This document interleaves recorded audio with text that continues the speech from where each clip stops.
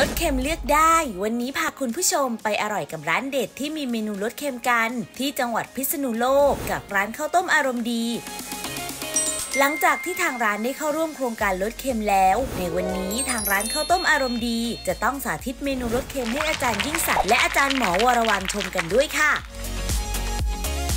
สวัสดีค่ะ ชื่อร้านข้าวต้มอารมณ์ดีนะคะ อยู่ที่มอนาลีสวนนะคะ จังหวัดพิษณุโลกนะคะ เปิดตั้งแต่ปี 42อะค่ะ ปีนี้ก็ประมาณ 23 ปีค่ะ แนะนำหน่อยได้ไหมคะว่าเมนูที่ร้านน่ะมีอะไรบ้าง จริงๆ แล้วเวลาเราทำอาหารทานกับข้าวต้มเนี่ย ส่วนใหญ่เมนูก็จะมีรสเค็มนำอยู่แล้วค่ะ เกือบทุกเมนูเลยค่ะ ถ้าอย่างผัดผักบุ้งเนี่ยลูกค้าจะลดเค็มเราก็จะลดัวซอสผัดลง แล้วก็เพิ่มน้ำอ่าพวกน้ำน้ำน้ำสต๊อกของเราลงไปค่ะเพื่อให้อาหารเนี่ยลดเค็ม เพราะฉะนั้นเมนูที่เป็นเมนูที่อ่าลูกค้าชอบสั่งก็จะเป็นพวกผัดผักบุ้งหนำเลียบหมูสับอย่างเงี้ยค่ะ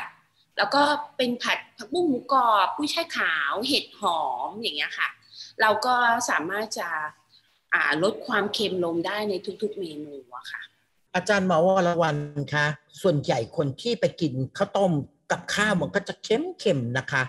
ร้านข้าวต้มนี่ก็คือกลุ่มเป้าหมายของเราใช่ไหมคะ ที่เราอยากจะรณรงค์ให้ร้านข้าวต้ม ขายอะไรต่อมีอะไรที่มันไม่เค็มอะค่ะอาจารย์หมอคะเรียนเชิญค่ะก็ฟังชื่อเมนูที่คุณนุงพุดพูดแล้วมันก็คือเมนูท็อปฮิตของร้านข้าวต้มเลยค่ะอาจารย์ ทุกเมนูที่กล่าวมาจินตนาการปริมาณโซเดียมออกเลยค่ะว่า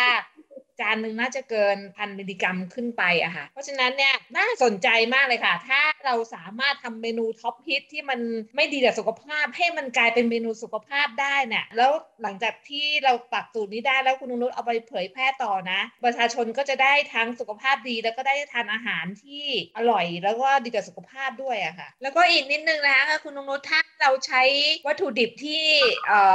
สดใหม่เนี่ยโดยที่เราไม่ได้ซื้อหมูแช่แข็งเนี่ย เราใช้หมูสดเนี่ย มันจะเพิ่มความอูมามิของของลิ้นได้นะคะ แล้วก็จะลดการใช้ซอสปรุงรสได้อะค่ะ คุณนงนุชคะคุณนงนุชทราบใช่ไหมคะว่าถัดจากนี้ไปคุณนงนุชต้องพิสูจน์ให้เราเห็น ด้วยการลงมือปฏิบัติชิม แล้วก็บอกกับเราว่าอร่อย แล้วก็มั่นใจว่าจะทำขายได้ คุณนงนุชพร้อมไหมคะพร้อมค่ะ ขอบคุณมากค่ะ คุณนงนุชคะเชิญค่ะขอบคุณค่ะเดี๋ยวเจอกันที่ครัวนะคะ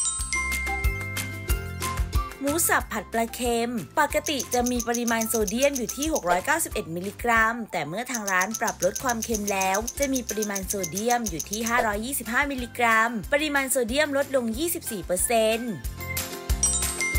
ผัดผักบุ้งปกติจะมีปริมาณโซเดียมอยู่ที่ 3,125 มิลลิกรัม แต่เมื่อทางร้านปรับลดความเค็มแล้ว จะมีปริมาณโซเดียมอยู่ที่ 1,626 มิลลิกรัม ปริมาณโซเดียมลดลง 48%เปอร์เซ็นต์ ใน 1 วันเราควรรับประทานโซเดียมไม่เกิน 2,000 มิลลิกรัมต่อวัน หรือเท่ากับเกลือ 1 ช้อนชา หรือน้ำปลา 3 ช้อนชา รู้อย่างนี้แล้วอย่าลืมลดเค็มเพื่อสุขภาพที่ดีของเรานะคะ เพราะการบริโภคโซเดียมมากเกินไป อาจเสี่ยงโรคได้ค่ะ ถ้ามีผู้ประกอบการทำอาหารที่เค็มน้อยนะครับ ดีต่อสุขภาพ ก็จะเป็นทางเลือกให้ผู้บริโภคนะครับในการที่จะมีโอกาสที่จะได้รับอาหารที่ดี แล้วก็ห่างไกลจากโรค NCD นะครับโรคไม่ติดต่อ